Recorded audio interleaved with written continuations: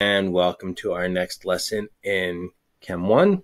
And in today's lesson, we're going to learn about something called thermochemical equations, and we're going to learn about calorimetry and how to determine the enthalpy change or the heat of a reaction.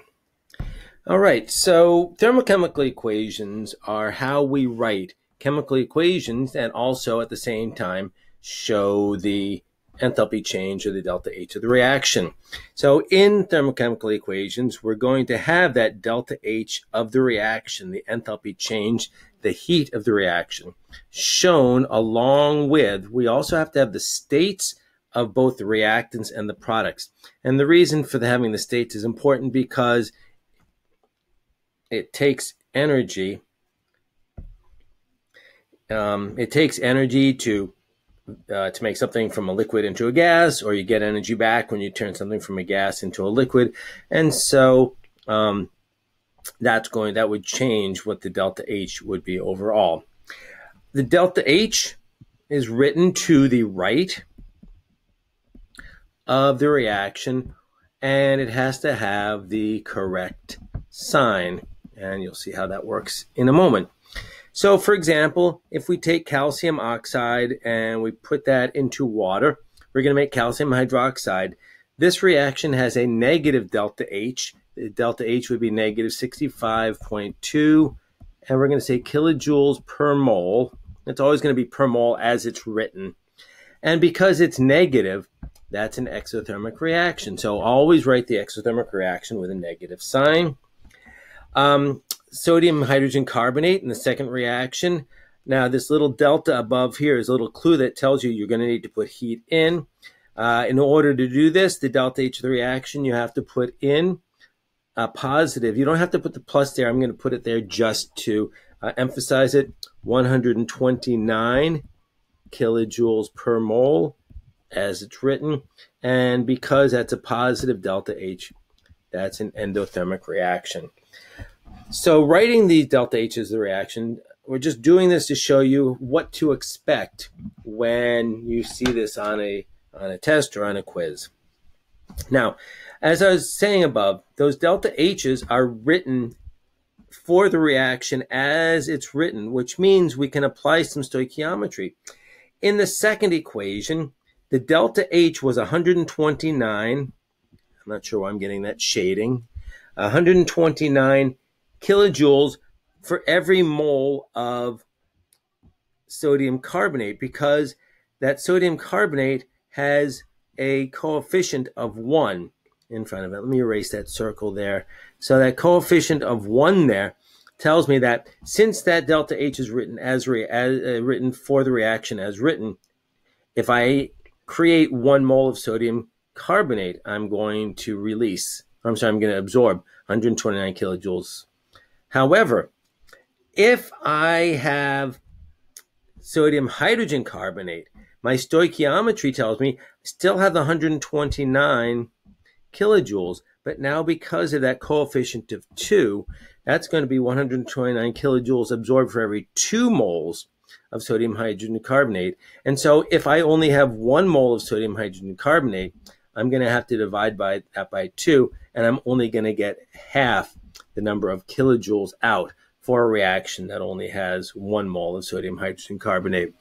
Now, that being said, there's probably only going to be one question to worry about this on uh, because the questions I'm going to ask you uh, on the on the quiz next week and um, on the the test coming up, if I do on, on the test coming up, would have coefficients of one in a special kind of reaction called the combustion reaction. We're going to focus on these combustion reactions because these are extremely important reactions. So we learned back in chapter 10 what combustion, combustion reactions are. We're, we're burning, we're burning some sort of a fuel. And the delta H of combustion is sometimes called the heat of combustion. So it's a special kind of heat of a reaction, and there should be a end quote over there. And this is the energy released. And it's always released because these are always negative. These are always exothermic. when burning one mole of a fuel. And so we're going to look uh, look at different fuels. For example, in this reaction down here, I've got C3H8, which is good old propane, which you may have in your in a, in a small white tank uh, in your backyard on your back porch. Uh, that's powering your barbecue grill. And in the balanced reaction, a mole of propane is going to react with five moles of, wa- of oxygen to make three moles of CO2 and four moles of H2O, again, making carbon dioxide and water. And when you burn one mole of, of propane, you get a delta H of combustion of negative 2,220 kilojoules per mole. So these reactions do release a lot of energy. Now, if you were to be a person who maybe you get involved with building, designing barbecue grills, and you need to know um, how to fuel these things, how to make them work so you get just the right amount of heat out, you would have to be able to calculate how much energy is released when you burn a certain amount of propane. So let's do this. This is going to be stoichiometry again, but it's going to be kind of simple stoichiometry because it's really only going to be taking grams to moles. And once we have moles, now we come up to our heat of combustion, and we've got that in kilojoules per mole, and that really is per mole of the C3H8. So if I want to know how many kilojoules we have, this is Q. Um, I could put this as Q. Let's leave it as question mark kilojoules because Q can get a little confusing. We'll use Q later on. Number of kilojoules. Always start with your single number, 28.8 grams of C3H8. Now I'm going to spot you the molar mass. Hopefully you remember that to go from grams to moles, we have one mole of the propane divided by um, 44.09 grams of propane. And if you stop there, you'd just be doing a grams to moles calculation.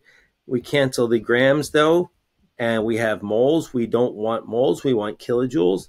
So now in our second step, we're going to have kilojoules up on top, and we're going to have moles of propane, C3H8 down below, and we get negative 2220 kilojoules for every one mole of propane, right? There's a one in front of the propane in that reaction. The moles of the propane cancel out, and that's going to give us and keep that negative in there and you'll see why in the next example you really want to keep that negative in there um, we're going to get negative 1450 kilojoules and so that's the answer numerically you would also then turn around i say how much is released you can leave it as that the negative sign means released or you can just say that 1,450 kilojoules, once you do the calculation, are released. So either way, I'm good with as long as you get the mathematical part right. Now we can go in reverse. So you want to cook, I don't know, you want to cook some hamburgers and you know that you need 103,000 kilojoules. Yes, 103,000 kilojoules to cook those hamburgers or if you're if you want veggie burgers, whatever it is you want to cook on the grill. So now we need to go back to the number of grams because as this grill designer, you're going to have to figure out how to get that amount of propane into the grill in the right amount of time. So we want to now have grams of propane as our as our our number that we're ending with. And we're going to start with the energy, negative 103 thousand kilojoules. Again, it's a single unit. You want to start with that single unit because everything else involved is a conversion factor. That's what the stoichiometry means. Now the conversion factor is going to tell us we're going to put kilojoules on the bottom and we're going to put moles of propane up on top so that the mole so that the kilojoules cancel out. Now this is why it's important to keep that negative sign. If we have the negative sign on the amount of energy that we're starting with, we'd better have a negative sign here, negative 2220. so that the negative signs end up canceling out right? A negative and a negative give us a positive. Otherwise, you're going to end up with a negative mass. And if you end up with a negative mass, some little warning bell should go off in your head and say, you know what? I can't have a negative mass. How many moles of propane? As before, one mole of propane. So you can see the stoichiometry is really pretty straightforward here. Cancel out the kilojoules. And now we have moles of propane. I want grams of propane, as we saw up above. It's 44.09 grams of propane for every one mole of propane. Cancel out the moles of propane and do the math, and we get 2,050 grams of propane, or just over two kilograms of propane. So that's thermochemical equations, using them to to uh, go back and forth between energy and grams, energy and mass. Now, in the next examples, we're going to be using uh, a similar technique to what you saw in the lab. And um, this should start looking familiar, especially if you have watched the lab video. So to determine the delta H of a reaction, we have to use a technique called calorimetry, which is the same technique that they used in the lab, except they weren't using it to determine a chemical reaction. They were using it just to find the heat transfer between one object, the metal, and another object, the water. In this case, we're going to use what's called, well, the technique is called calorimetry, and that's just measuring heat exchanged in a process. So technically, the lab is also calorimetry. The calorimeter is this, this device you see to the right. It's some sort of a device that limits the flow of heat to the environment. So in other words, the heat that's inside here can't get out. It gets stopped. So nothing gets through. Anything that's outside here can't get in. It gets stopped as well. So no heat can get in or out. It's an insulating device. So it's an insulator that keeps the heat in or out. And that way, all the heat transferred is inside, is kept inside the, the calorimeter. So inside the calorimeter, we have two things. We're going to have water, Water is going to measure the delta T, or we're going to use, we're going to measure the delta T of the water because the water is going to act as the surroundings.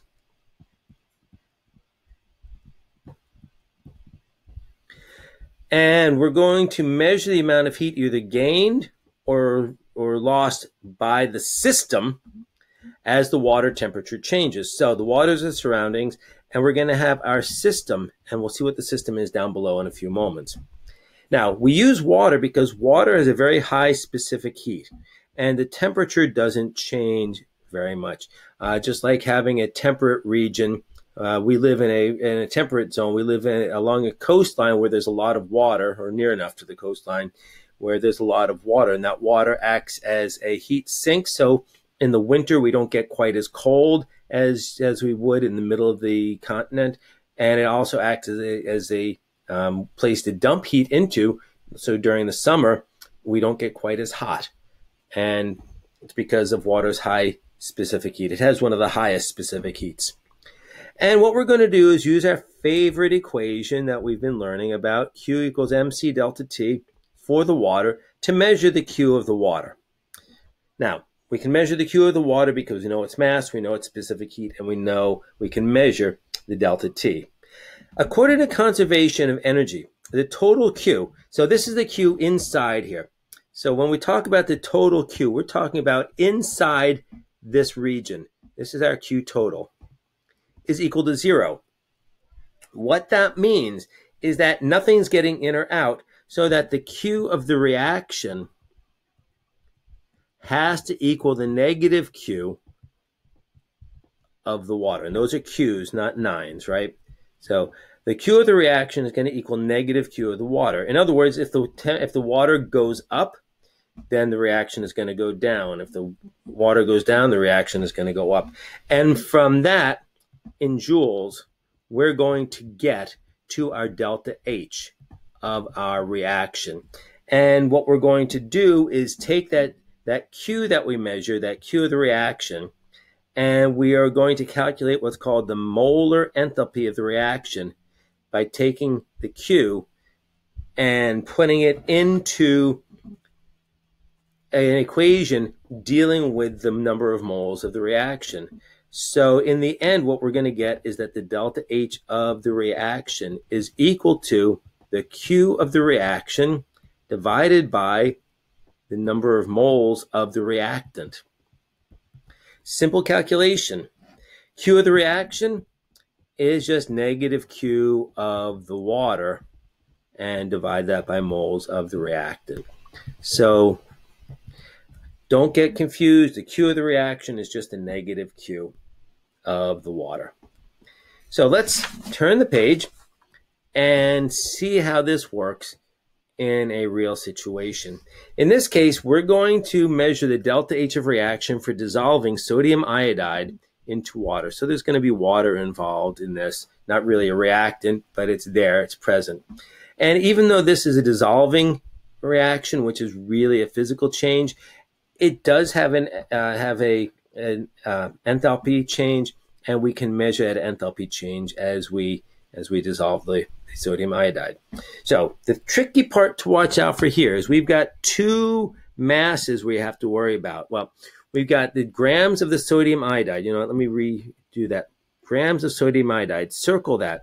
That's our reactant. Put that number aside for right now.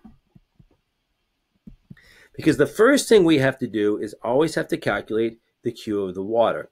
Now, in this case, I'm telling you you have 80 milliliters, but remember that one gram of water, one milliliter, is uh, one gram. So this is really 80.0 grams of water. All right, so let's make a note of that.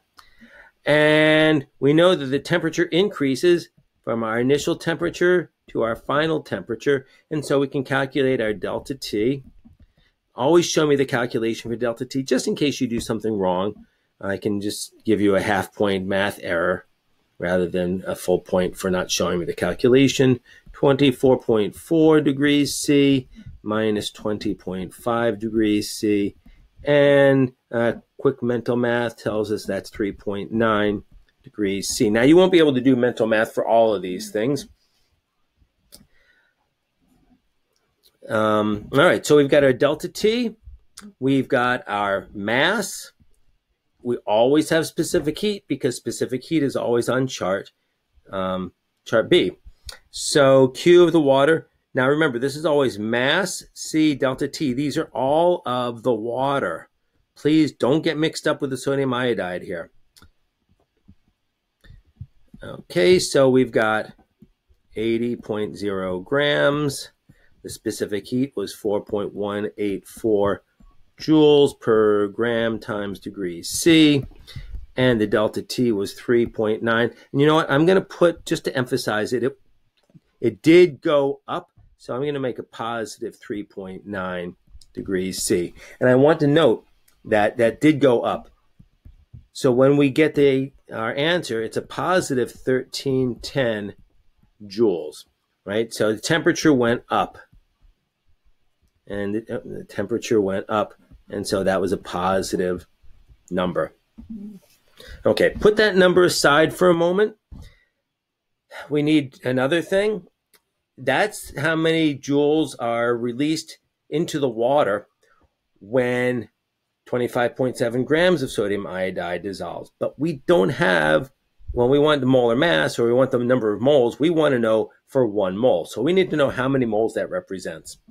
So sodium iodide, the number of moles, again, moles to mass. You've been doing this the whole year. Hopefully you know how now.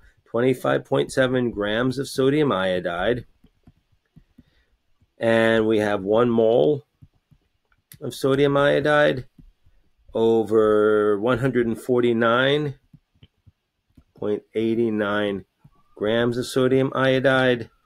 Grams of sodium iodide are going to cancel out, and we get zero point um, one seven. Now I'm going to bring out to one more sig fig just to make sure I don't run into rounding errors. We'll round to three sig figs at the end, and this is going to be moles of sodium iodide.